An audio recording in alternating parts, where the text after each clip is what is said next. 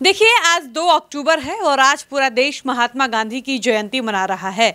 और आपको बता दें कि राष्ट्रपिता महात्मा गांधी की जयंती के अवसर पर बिहार के मुख्यमंत्री नीतीश कुमार ने पटना के गांधी मैदान स्थित राष्ट्रपिता महात्मा गांधी की विशाल आदमकद प्रतिमा पर माल्यार्पण किया और उनके व्यक्तित्व एवं कृतित्व का स्मरण किया। मुख्यमंत्री नीतीश कुमार ने उनके आदर्शों को जीवन में उतारने का संकल्प भी लिया। साथ ही मुख्यमंत्री ने पटना के शास्त्रीय नगर पार्क में राजकीय जयंती समारोह में जाकर भारत के पूर्व प्रधानमंत्री भारत रत्न स्वर्गीय लाल बहादुर शास्त्री की जयंती पर श्रद्धांजलि दी। आज पूरे देश दोनों महानुभावों को श्रद्धांजलि दे रहा है। दिल्ली में राजघाट पर राष्ट्रपति द्रौपदी मुर्मू उपराष्ट्रपति जगदीप धनखड़ और प्रधानमंत्री नरेंद्र मोदी ने वहाँ जाकर श्रद्धांजलि दी है। बाकी आप हमारे स्क्रीन पर जो वीडियो चल रहा है उसमें देख सकते हैं कि किस प्रकार से बिहार के मुख्यमंत्री नीतीश कुमार ने महात्मा गांधी को श्रद्धांजलि अर्पित किया है।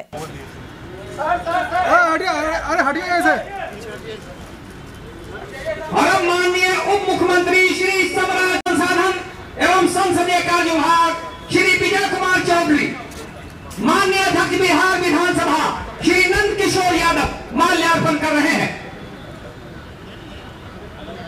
माननीय मंत्री जल संसाधन एवं संसदीय कार्य विभाग श्री विजय कुमार चौधरी माल्यार्पण कर रहे हैं।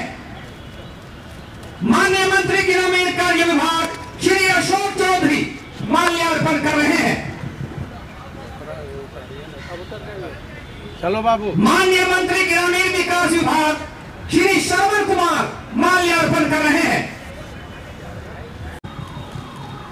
परम माननीय अध्यक्ष, श्री मकबूर सैयद अफसल अब्बास माल्यार्पण कर रहे हैं। तो देखा आपने किस प्रकार से नीतीश कुमार राष्ट्रपिता महात्मा गांधी और लाल बहादुर शास्त्री की जयंती पर इन दोनों महानुभावों को श्रद्धांजलि अर्पित करते हुए नज़र आए हैं। बाकी आप इस वीडियो के लिए क्या कहिएगा, अपनी राय बताइएगा। वीडियो को समाप्त करते हैं, मिलते हैं नए वीडियो में। धन्यवाद।